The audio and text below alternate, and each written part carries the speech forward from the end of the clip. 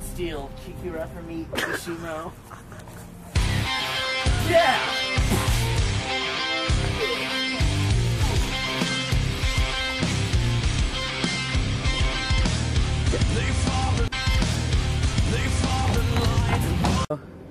Oh, so you're serious about this, are you? Well. I can be serious too.